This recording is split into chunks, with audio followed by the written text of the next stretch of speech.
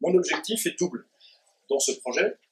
Le premier, c'est donc de reconstituer le tissu national, et le deuxième, c'est de rétablir l'État dans la force et l'autorité qui doivent être les siennes. Comment reconstituer, le tissu national et euh, la communauté nationale? Eh bien, en prenant des mesures qui invitent, qui incitent, qui favorisent la participation à l'œuvre commune. Et deuxièmement, en faisant en sorte que on fasse confiance à l'initiative, à la créativité et à la capacité de faire et d'inventer des Français. L'ambition qui est la mienne consiste à redonner en quelque sorte aux Français les clés de leur avenir.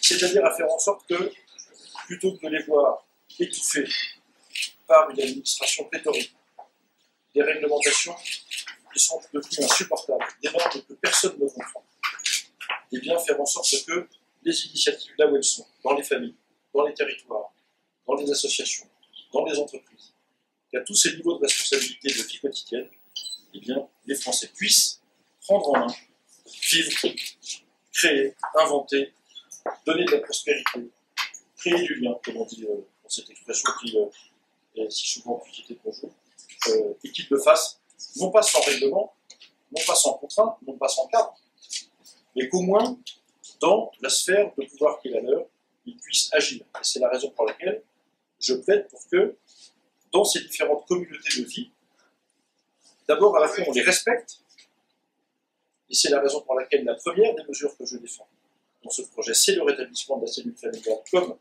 euh, le cœur de l'action politique et de l'action sociale. Non seulement qu'on les respecte, mais qu'en plus on leur donne les moyens de faire ce qu'elles ont à faire. Et tant pis si par ailleurs, leur donner des moyens, ça veut dire retirer les moyens à l'État.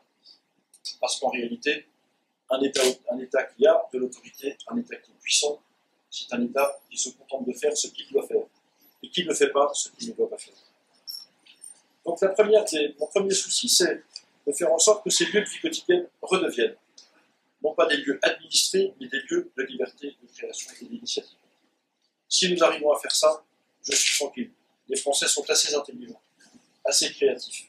Ils ont assez d'initiatives.